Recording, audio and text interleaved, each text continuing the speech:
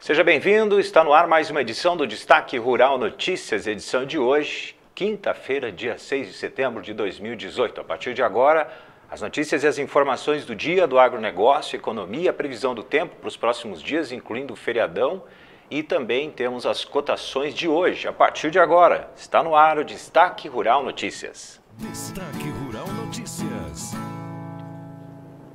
Patrocínio MML. Vamos começar falando sobre que, como resultado da guerra comercial entre China e Estados Unidos, os exportadores norte-americanos já estão mais competitivos que os brasileiros no mercado europeu. E isso vai se agravar. É uma das preocupações aí do ministro da Agricultura, Blairo Maggi. Ele falou que essa situação pode se agravar. É, ele falou isso ao deixar um seminário Brasil-China. Maggi explica que no início este movimento estava passando meio que despercebido, porque as empresas brasileiras e norte-americanas têm contratos já firmados a cumprir, mas com o passar dos meses, na hora de renovar esses contratos, os compradores vão olhar a diferença de preços entre os dois países e podem dar preferência aos Estados Unidos. E aí, os Estados Unidos podem ampliar aí o fornecimento de carne, soja, farelo e óleo. E isso pode fazer com que eles ganhem o mercado europeu e os americanos ficariam então com uma vasta parcela de soja, de derivados e carnes que inicialmente seria do Brasil. Foi isso que explicou o ministro, mostrando a preocupação dele em relação a essa questão da guerra comercial e possivelmente, futuramente, o Brasil perder este mercado. Olha, a equipe da Destaque Rural esteve em Gramado, no Rio Grande do Sul, nessa semana, participando do 27º Congresso Brasileiro de Entomologia. A Corteva também esteve presente no evento e apresentou algumas inovações. Veja quais são.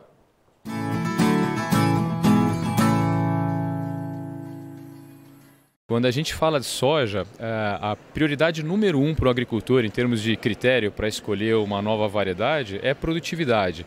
Produtividade se desdobra em várias coisas também, né? Ciclo, porque às vezes ele quer fazer safra, safrinha, o ciclo é muito importante, dependendo da região, tolerância a nematóides, tolerância a doenças, né? Então, assim, produtividade é chave. As biotecnologias, elas estão aí a serviço de uma boa genética para preservar potencial produtivo e maximizar uh, a produtividade dessa variedade. Mas como que a gente trabalha, né? Para garantir que as variedades que vêm com as novas biotecnologias sejam de alto teto produtivo, sejam muito produtivas, o programa de melhoramento ele sempre foca em observar por micro-região de soja quais as principais materiais, os que mais se destacam. Né? Então toda a safra é reavaliado é, frente a quais materiais por micro-região nós vamos estar avaliando as variedades que estão vindo para o mercado. E, e, tem uma regra básica, tanto internamente para os nossos materiais passarem por esse processo de seleção, quanto os nossos parceiros licenciados aí, Dalmário, TMG, Nideira, eh, outras empresas estão trabalhando com, com tecnologia uh, em list, elas têm que bater esse cheque da microrregião. Ou seja, a gente compara com o, os materiais campeões da região e se você não bater a regressão em termos de produtividade, você não lança a variedade. É assim que a gente assegura um progresso contínuo, variedade após variedade, que elas sejam iguais ou melhores que as variedades atuais.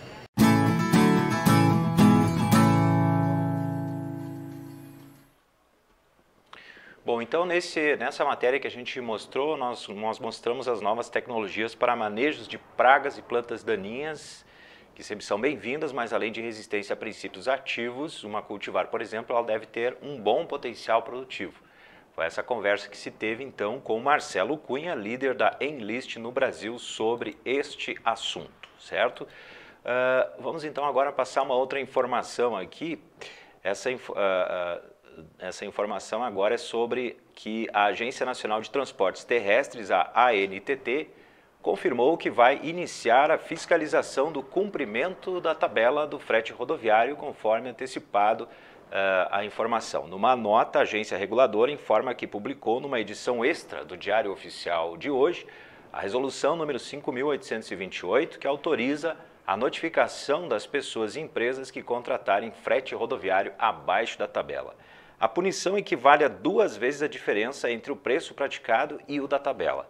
Essa resolução de hoje modifica a 5.820, publicada no final de maio, que estabeleceu o tabelamento. O Diário Oficial também trouxe um aviso de audiência pública da ANTT, de número 12, para discutir medidas adicionais para garantir o cumprimento da Política Nacional de Pisos Mínimos do Transporte Rodoviário de Cargas. Inclusive, quem tem interesse aí em enviar sugestões, o período para isso é entre 10 de setembro e 10 de outubro. Ainda falando sobre essa questão do frete, né? Uh, uh, algumas entidades elas se posicionaram contra, já têm se posicionado desde o início né, dessas negociações, pois a CNA, que é a Confederação da Agricultura e Pecuária do Brasil, quer a suspensão da nova tabela de fretes que foi anunciada nessa semana. A entidade protocolou hoje, inclusive, no Supremo Tribunal Federal, uma medida cautelar para suspender a medida. Num comunicado, a entidade diz que quer a suspensão da tabela até que seja realizado pelo STF o julgamento da ação direta de inconstitucionalidade, a ADI 5959. O relator do caso é o ministro Luiz Fux, que ainda não definiu uma data para o julgamento.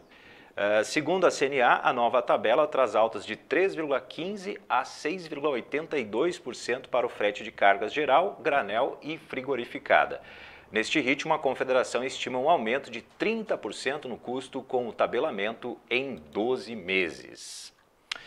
A Fiesp, Federação da Indústria do Estado de São Paulo, fez uma pesquisa em todo o Brasil sobre hábitos alimentares.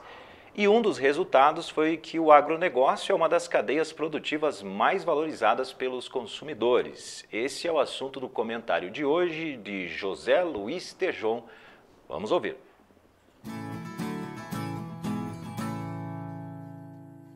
A Fiesp, Federação da Indústria de São Paulo, fez uma pesquisa no Brasil inteiro sobre os hábitos alimentares.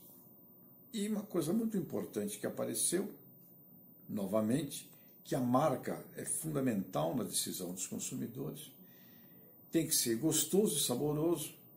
E uma terceira coisa que apareceu fortemente, em função também da nossa crise econômica, é o preço, tem que ser barato, mas a marca continua sendo fundamental. Mas uma coisa que é muito importante para todos os produtores rurais saberem é que a imagem da cadeia produtiva, a imagem do agronegócio surge e como uma coisa muito valorizada. Mas acima da imagem da cadeia produtiva do agronegócio, o que vem em primeiro lugar como uma valorização do consumidor brasileiro é o produtor rural o produtor rural está em primeiro lugar, junto com o nome que fazendeiros, que é a mesma coisa do que produtores. Então, os produtores rurais surgem com 72% de valorização. O agronegócio e fazendeiros. Significa uma mudança, uma transformação nos últimos 10 anos, ou seja, aquela velha história de se falar que o cidadão urbano, consumidor, não valoriza o produtor, isso nós não podemos mais dizer. 72% dos consumidores brasileiros colocaram produtores rurais como a coisa mais importante e mais valorizada acima da cadeia produtiva e acima da própria indústria da alimentação. Portanto, parabéns, produtores rurais brasileiros. Vocês conseguiram e estão hoje no primeiro lugar como a imagem mais valorizada do agronegócio brasileiro. Essa pesquisa, chamada A Mesa Brasil, uma pesquisa feita pela Federação da Indústria do Estado de São Paulo, no país inteiro, revela então a importância e a valorização percebida pelo cidadão, pelo consumidor brasileiro. Produtoras e produtores rurais, em primeiro lugar, como o item e as pessoas mais valorizadas da cadeia de alimentos do Brasil. Consequentemente, que as indústrias, inteligentemente, passem a usar os produtores e a originação da produção como seu ponto fundamental de elo com o consumo. Parabéns, produtoras e produtores rurais brasileiros.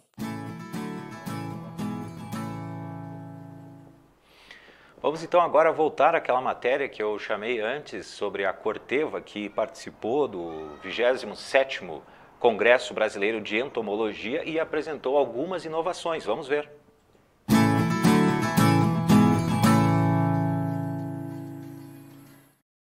falando um pouco do, do Intrepid Edge, é, ele é um produto, uma mistura, uma, uh, com dois novos, com dois modos de ação, de ação únicos, né?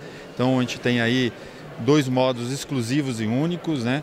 É um produto seletivo, é um produto que tem um, atua no complexo de lagartas, né? Então você trazendo uma ferramenta para o produtor, benefício maior você tem um produto um, com, com, essas características que para controle de lagartas é muito interessante para o produtor ter lá como, como uma, uma solução é, para o controle de, vamos dizer, do, do, dia a dia da lagar, de lagartas que ele, que ele precisa. Né?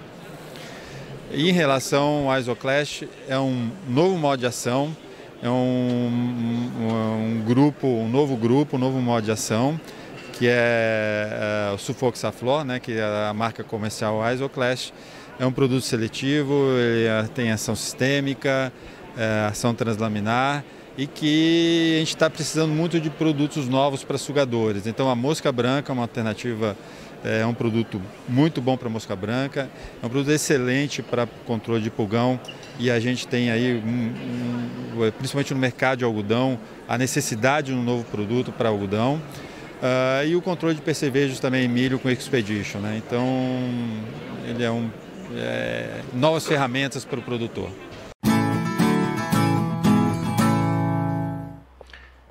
Vamos agora falar de carne. As exportações brasileiras de carne bovina estão a todo o vapor neste segundo semestre, cenário que, segundo pesquisadores do CPES Alc USP, estão ajudando a sustentar as cotações internas da arroba do boi gordo, visto que enxuga a disponibilidade doméstica da proteína.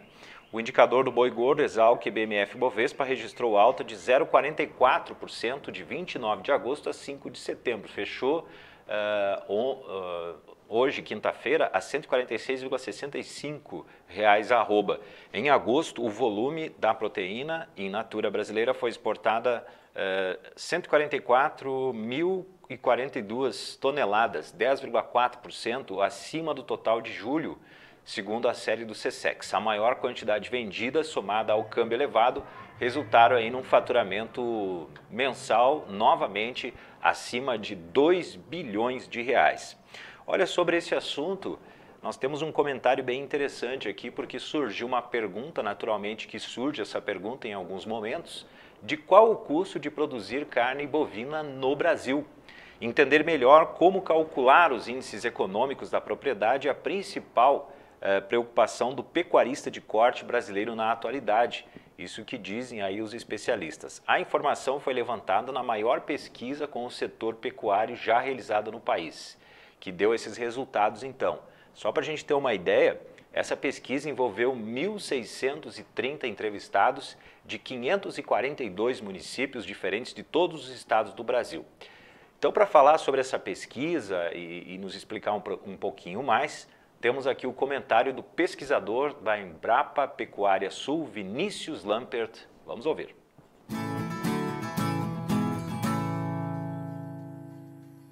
Meu nome é Vinícius do Nascimento Lampert, sou pesquisador da Embrapa Pecuária Sul de Bagé, Rio Grande do Sul.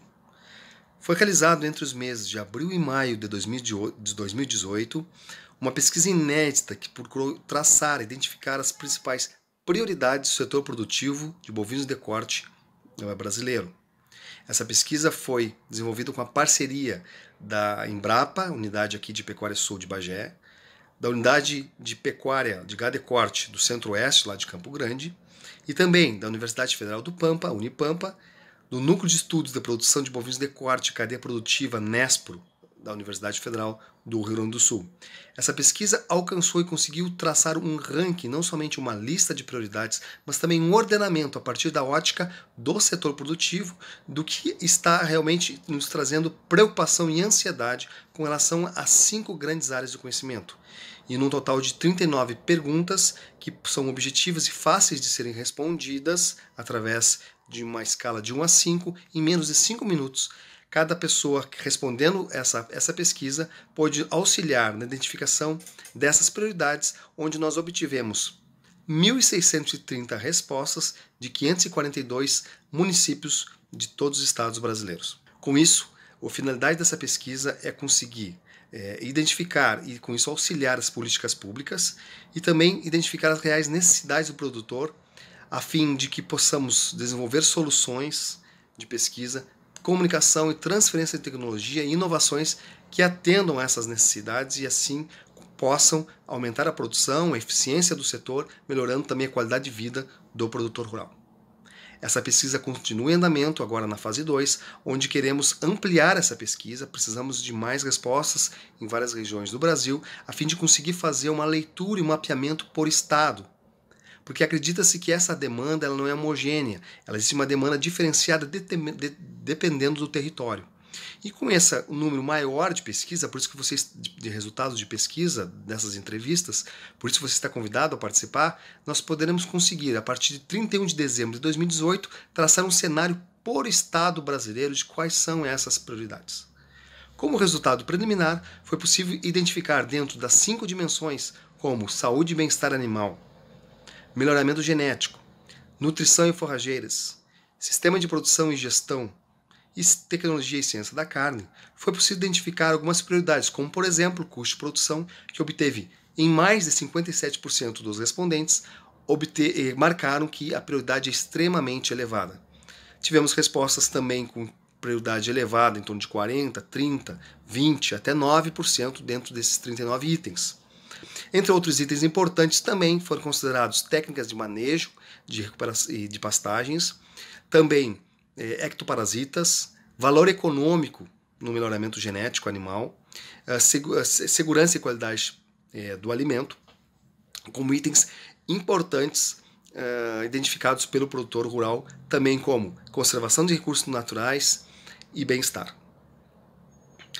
Para obter uh, os resultados dessa pesquisa é facilmente é, encontrado, basta acessar o nosso site da Embrapa Pecuária Sul, CPP Sul, e na seção de destaques obter toda a lista completa das prioridades uh, da pecuária brasileira.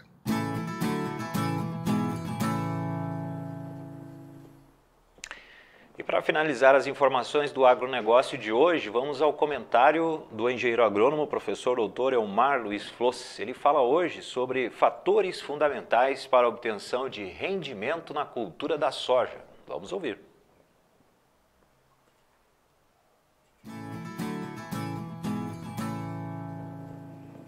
Olá, amigos. Estamos falando de fatores fundamentais para a obtenção de altos rendimentos na cultura da soja. E um desses fatores é, sem dúvida alguma, a qualidade da semente.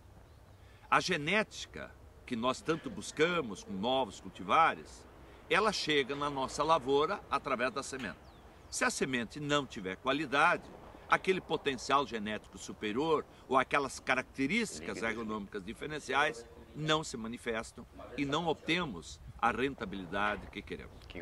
Que? O que é uma semente de qualidade? Não é meramente o poder germinativo. É, o teste de germinação, seja em laboratório ou seja em caixas de areia. No laboratório, na câmara de germinação, nós temos condições ótimas de temperatura, umidade, luz, não há patógenos, não há pragas. Essa não é a realidade que a semente encontra na boca da semeadora.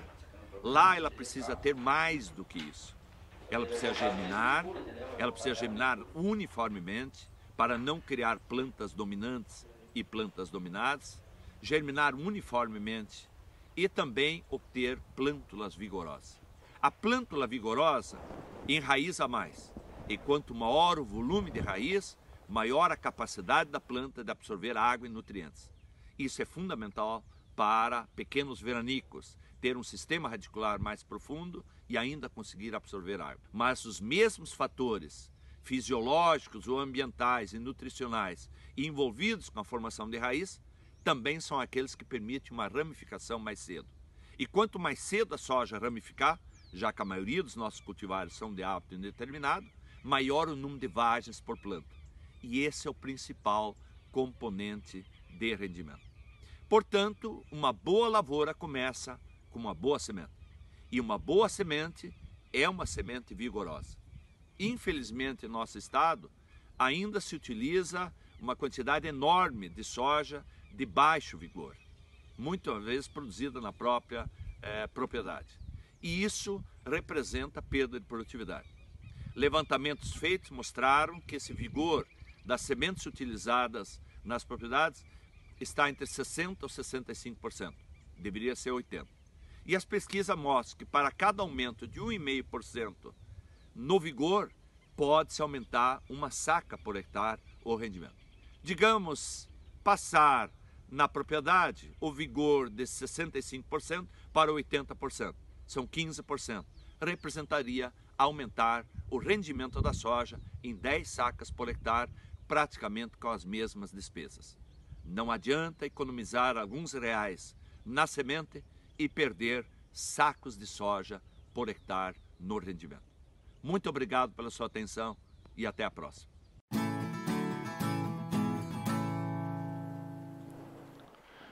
MML Construtora Incorporadora invista em projetos preparados para o futuro. MML Construtora e Incorporadora, desenvolvimento imobiliário inteligente. Vamos agora à economia.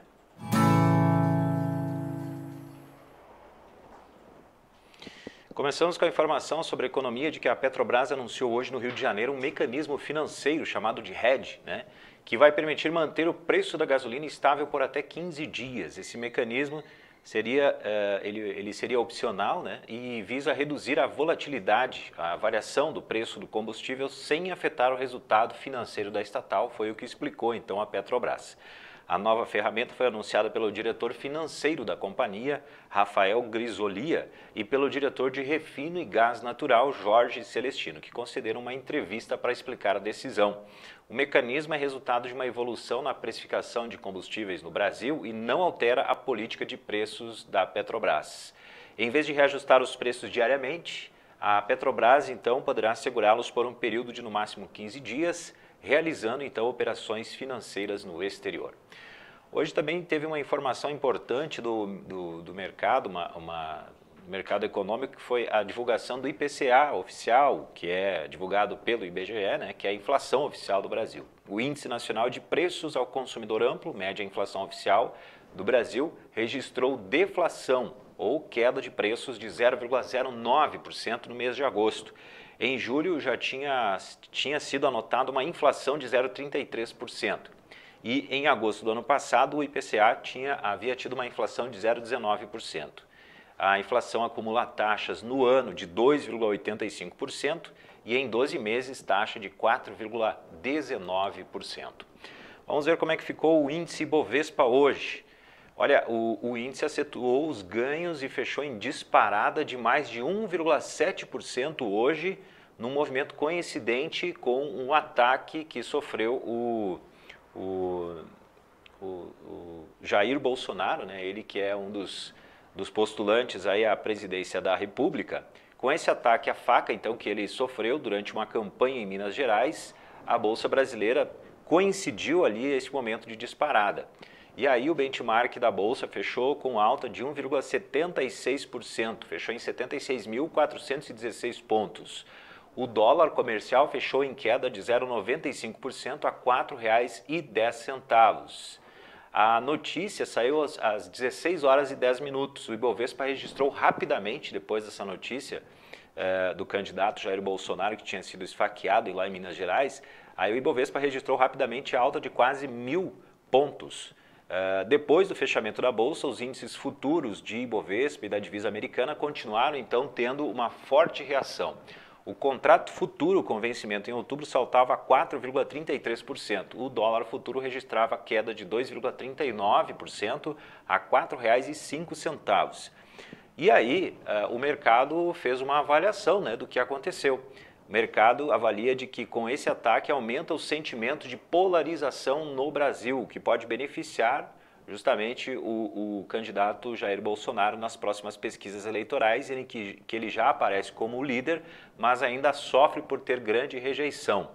Uh, só para você ter uma ideia, foi divulgada uma pesquisa Ibope, né, na última pesquisa Ibope, que foi divulgada ontem, o candidato apareceu com 22% das intenções de voto no primeiro turno, mas perderia nos cenários de segundo turno na disputa contra Ciro Gomes, Marina Silva e Geraldo Alckmin, e empataria tecnicamente com Fernando Haddad, segundo a pesquisa uh, do, do, que foi divulgada ontem né, pelo IBOP. O mercado passou a ver de forma positiva uma eventual vitória do candidato do PSL, segundo dizem os analistas, principalmente por causa do, do, do, do plano de governo dele, que seria mais liberal, e também o fato de Paulo Guedes, eh, que é o assessor econômico do candidato, ser a favor de privatizações e reformas. E as últimas informações são de que o candidato estaria passando por uma cirurgia e que teria sido perfurado o fígado dele, eh, mas que passa bem e está sendo resolvida a situação. Vamos então agora saber como é que fica o tempo, não só para amanhã, mas também para o feriadão prolongado que vamos ter aí. Então a gente começa aqui pela região sul para saber como é que fica né, o tempo para amanhã, que é 7 de setembro, feriado da independência do Brasil. E essa, essa, essa previsão né, a gente vai passar não só para o feriado, para amanhã, mas também para sábado, domingo e segunda-feira. Então vamos começar aqui essa maratona aí da previsão do tempo. Então para amanhã, sexta-feira, dia 7, feriado 7 de setembro é de sol e tempo firme no sul do Brasil, sem previsão de chuva. A temperatura sobe, mas na madrugada e ao amanhecer ainda faz frio, especialmente nos trechos de serra. Para sábado, dia 8, também massa de ar frio deixa o tempo aberto. Sábado, a nebulosidade aumenta no sul e leste do Rio Grande do Sul mas as nuvens não escondem o sol ou provocam chuva. A temperatura sobe ainda com frio na madrugada e ao amanhecer nas serras. Dia 9, domingo. Céu nublado e chuvisco nas praias do Paraná. Sol entre muitas nuvens no centro-leste, nordeste e sul do Rio Grande do Sul e de Santa Catarina e nas demais áreas do centro-leste do Paraná previsão de possibilidade de chuva no litoral de Santa Catarina e costa norte do Rio Grande do Sul. Forte sol nas demais áreas do sul. E para segunda-feira, dia 10, sol entre muitas nuvens no leste e nordeste do Rio Grande do Sul e no leste, no centro-leste de Santa Catarina e do Paraná. A previsão é de chuva na costa norte do Rio Grande do Sul e no litoral de Santa Catarina e do Paraná. Sol forte nas demais áreas do sul do Brasil. Vamos então agora à região centro-oeste ver como é que fica, né, como eu disse, nesses vários dias aí, não só para amanhã, né, que é o dia é, 7, que é o feriado, mas também para o final de semana. Então, para amanhã, sexta-feira, na região centro-oeste, a gente pode ver o mapa aqui, que a maioria, a maior parte dele está com tempo bom, né? Na, mais na parte norte, né, a gente vê ali um pouquinho de, de, de possibilidade de chuva. Dia de sol no centro-oeste do Brasil, ah, não, isso é para hoje, né? Então, para amanhã. O dia da independência é de sol e calor no centro-oeste. A partir da tarde acontecem chuvas acompanhadas de trovoadas no nordeste de Mato Grosso. Nas demais áreas, a baixa umidade do ar inibe a formação de nuvens carregadas. Para sábado, sol forte e calor no centro-oeste, previsão de pancadas de chuva e raios a partir da tarde no centro-oeste, sudoeste e norte de Mato Grosso. Nas demais áreas, a baixa umidade inibe a chuva, calor e ar muito seco nas horas mais quentes do dia. No domingo, previsão de tempo aberto no centro-oeste, maior umidade do ar favorece pancadas de chuva a partir da tarde no noroeste de Mato Grosso. Em outras áreas, apesar do, aquecimento, a baixa umidade do ar inibe a chuva. E na segunda-feira, Sol forte e calor no centro-oeste do Brasil. A partir da tarde, a maior umidade do ar provoca aumento de nebulosidade e pancadas de chuva no oeste e no noroeste de Mato Grosso. MML, construtora e incorporadora, invista em projetos preparados para o futuro. MML, construtora e incorporadora, desenvolvimento imobiliário inteligente.